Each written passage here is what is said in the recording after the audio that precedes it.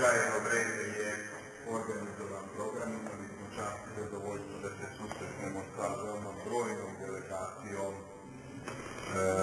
Austrijske narodnjačke stranke. To je stranka koja je naša sestrinska stranka unutar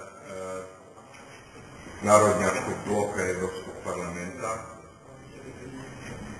Oni borave u višednevnoj posjeti u Srbiji.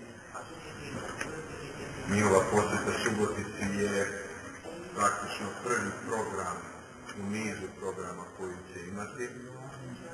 Imali smo prilike da razmenimo neke osnovnih informacija za ocenu pre svega unutar političkih prilika u Srbiji. Mi smo iznijeli svoja zapažanja ili svoje observacije u odnosu na aktuelnosti vezane za evropsku putanju, situaciju evropske putanje Srbije.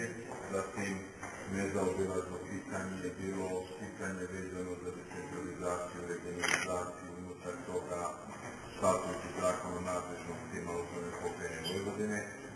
Isto tako je nezaobilazno pitanje bilo pitanje vezano za unutar toga su poseban akcent stavili u raspoloživom vremenu na zakon o nacionalnim savjetima, čija je priprema.